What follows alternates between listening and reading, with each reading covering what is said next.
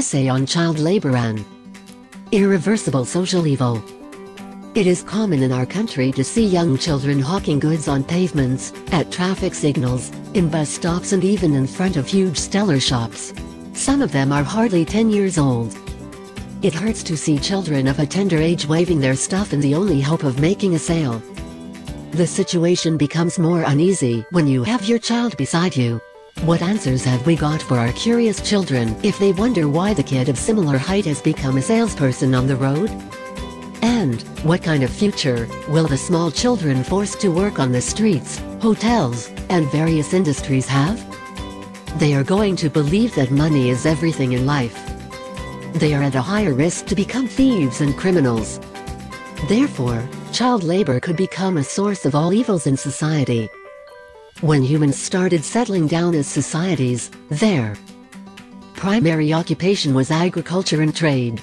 Among farmers, artisans, and traders, it was typical to train children in their respective professions. This was a practice when education was not formal in our society.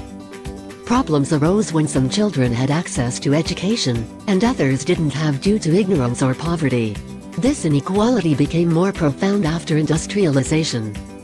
Children, as laborers were easier to control and could be paid less. With the growing number of industries, the demand for labor was high, so the more impoverished families sent their children to work. Apart from pay discrimination, children were allowed in mines and other small places where adults couldn't go. These kinds of atrocities led to protest against child labor in the late 17th centuries in Europe and the USA. Moreover, market crashes like Great Depression resulted in a drastic decrease in demand for labor. In this period, the societies began to support child labor abolishment. The present scenario child labor a global issue. According to the International Labour Organization's 2018 data, there are 152 million child laborers worldwide. This is a global issue and not an isolated problem of a particular nation. But, child labor is more prevalent in developing and underdeveloped countries. As the developed world had faced the wrath of the social evil earlier, they made strict laws and created more awareness in their society. But the effects of industrialization was felt late in the third world. Children make up more than 10% of the labor force in the Middle East, Latin America, South Asia, and Africa. These regions are affected by poverty, war, and illiteracy. Faced with extreme poverty and hunger, children are forced to leave their schools and earn money to eat. They toil hard in factories, mines, fields, and in cheap hotels. At times, they are exposed to harmful environmental conditions that affect their health. Their mental well-being is impaired irrevocably. Some are too submissive, and some are too angry. They vent out their emotions in a drastic manner like by committing suicides, stealing and murdering. Thus, child labor is one of the root cause problem leading to severe consequences and is detrimental to the development. Child labor in the Indian context.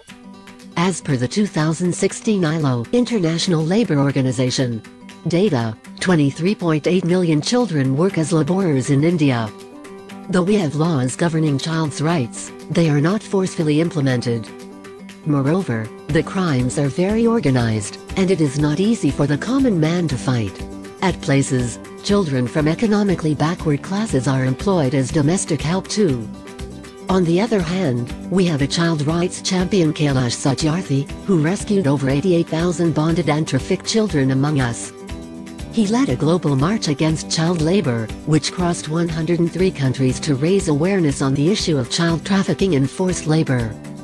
Measures to curb child labor, in our country, the employment of children below 14 years in all occupations and processes is strictly prohibited. The UN, United Nations, works continually to create social awareness and strives to change the mindset of people so that they don't indulge in such heinous acts. Free education in primary schools and midday meals schemes were introduced in our country to prevent child labor. But often the standard is very poor in government schools and food is not provided regularly. There have been incidents where children feel sick after having lunch in schools. It's high time that government administration works effectively so that the apathy and fear towards government schools are put to rest. It is worthwhile to note that the elimination of child labor in all its forms by 2025 is one of the SDGs Sustainable Development Goals of the UN.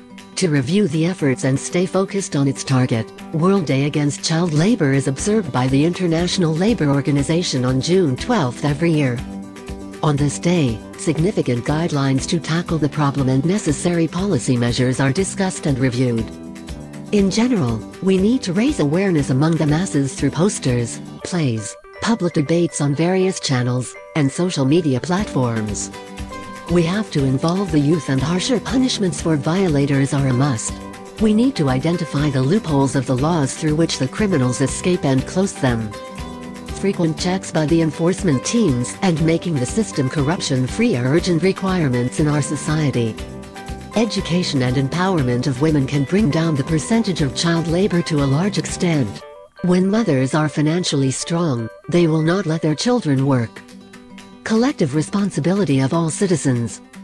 It is said that children are the future of a society.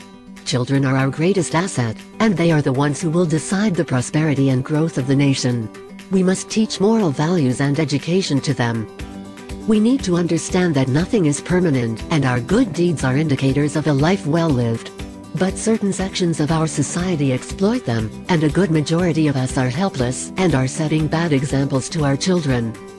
We should stop buying from children on streets and public transport, and never allow employing children as domestic help. We should educate the children that child labor is a malpractice set to ruin humanity. These are the least things which every individual can do.